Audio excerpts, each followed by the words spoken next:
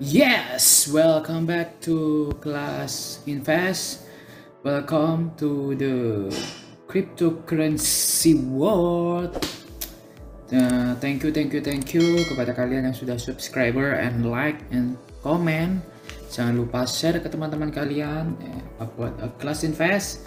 Kita bahas crypto and anyway uh, hari ini kemarin sudah ini ya BNB sudah mencapai ATH-nya and sekarang ada di harga 563 dolar. Selamat buat kalian yang sudah hold BNB dari harga 20 dolar sampai 50 dolar and keep hold, keep investment and don't trade ya, memang don't trade and bagi yang belum punya uh, saya tidak bisa bilang and bagi yang mau nekat membeli up to you. Jangan sampai kegocek di harga tinggi. Anyway sekarang kita lihat ada Twitter yang di-tweeted oleh CZ ya, CEO Binance. Uh, kalau ETH itu apa ETH market itu tiga kalinya market BNB di sekarang itu BNB itu sekitar 80-an ETH itu 250 ya lah tiga kalinya dari BNB And sekarang Etia wis sudah di ATH. Biasanya orang yang FOMO akan bingung, beli nggak, beli nggak, beli nggak, beli nggak, I don't know. And yang pasti BNB tetap akan bullish. Yes, it's possible. And sekarang coba kita ke Twitter satunya lagi. CC bilang kalau token itu sudah dibakar, itu akan mengurangi apa namanya sirkulasi supply itu. Tapi itu akan meningkatkan harga dari koin itu.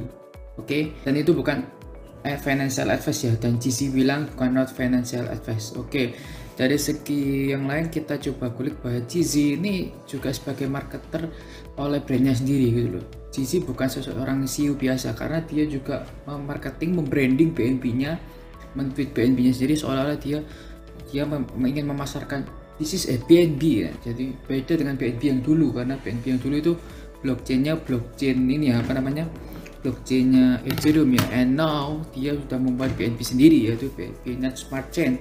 Dan sejak saat itu harga cenderung bullish oke? Okay? Binance itu dia kan sekarang menggunakan Binance Smart Chain dengan token dengan ini ya jalan terdesentralisasi BEP20 salah itu adalah karena ada BSC Binance Smart Chain nya itu punya keunggulan yaitu dengan BSC itu transaksi lebih cepat fee nya juga lebih murah dari Ethereum dan dia mempunyai exchange yaitu Binance. Dan itu Binance menjadi nomor satu exchange yang sekarang dipakai dengan kecepatan yang luar biasa saya kira. And anyway sekarang kita coba ke coin market cap ya. Ke USD aja biar lebih enak. Oke, okay. dan sekarang Binance di urutan ketiga dengan 86 86 miliar US dollar. Dan yang tadi tweetnya kan juga menyangkut Ethereum dengan kapitalisasi pasar 250 miliar dolar itu tiga kalinya BNB dan itu kenapa Binance selalu dikaitkan Ethereum? Karena dulu Binance menggunakan blockchain Ethereum dan sekarang dia mempunyai Binance Smart Chain sendiri. Dan itu selalu kenapa dikaitkan dengan Ethereum? Apakah bisa menyangi Ethereum? Saya kira bisa tapi not now tapi mungkin uh, di masa depan ya. Sekarang kalau kita bang gimana kalau kita di posisi Ethereum? Dengan kapitalisasi sekian apakah bisa mencapai harga 1000 sampai 2000 US dollar? Yes, mungkin bisa ya actually ya. Coba kita apa namanya kita bahas secara matematika ya teman-teman ya. Sekarang adalah gimana kalau balance di posisi harga sekian, harganya sampai berapa? Coba kita uh, lakukan matematiknya. Jadi market cap-nya Ethereum kita bagi dengan market cap-nya Binance BNB now kita kalikan dengan harga BNB now ya. mana dikatakan yes actually dengan market cap 250-an itu uh, harganya BNB adalah sekitar 1620 dolar it can be yes. And so kita coba klik lagi. Ya di sini ada Binance. Sekarang Binance market capnya itu tadi ya 86 miliar US dollar sekian dengan peredaran circulating supply-nya 91% hampir 100% dan habis ini akan di burn itu karena sudah hampir 91% dari peredaran supply total maksimalnya yaitu 170 juta ya. Jadi sudah hampir 91% sedikit lagi sebentar lagi BNB akan burn tokennya dan akan meroket harganya. Apakah harga akan langsung meroket? I think no ya. Jadi harga mungkin akan sideways sebentar, koreksi sebentar, dan itu akan naik lagi. Itu berdasarkan burn yang ke-14 kemarin. Harga tidak langsung naik tapi pada akhirnya tetap naik teman-teman. Oke saya kira itu. Kita coba langsung menuju ke trading view untuk menganalisis secara teknikalnya teman-teman. And so yes sekarang pergerakan sangat-sangat bullish karena di sini adalah MA50 garis yang warna merah dan garis yang warna biru adalah MA20 renggang sekali. Kalau renggang ini adalah cenderung ke bullish ya. Jadi bullishnya itu sangat kuat extremely bullish ya. Kalau misalnya masih kayak gini kan sedikitnya itu masih masih mungkin ada mungkin masih bullish sedikit nanti tapi udah renggang kayak gini itu extremely bullish bisa saya bilang. And sekarang sejak ATH yang kemarin tanggal 11 ya. Di tanggal 11 kemarin dia ATH dan dia ATH lagi oke. Okay?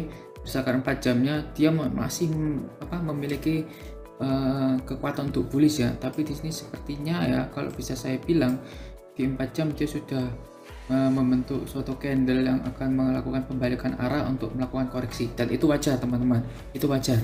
Kita lihat sini ya candle ini candle shooting star ya ini shooting star biasanya akan melakukan pembalikan arah. Dan itu wajar teman-teman ya. Saya tekankan sekali lagi karena itu adalah wajar dalam era bullish dan itu dikatakan sehat. Jadi sini ada tekanan jual yang tinggi untuk mengindikasikan adanya koreksi. Sekali lagi itu wajar teman-teman ya. Dan kita coba dukung dengan Fibonacci ya. Fibonacci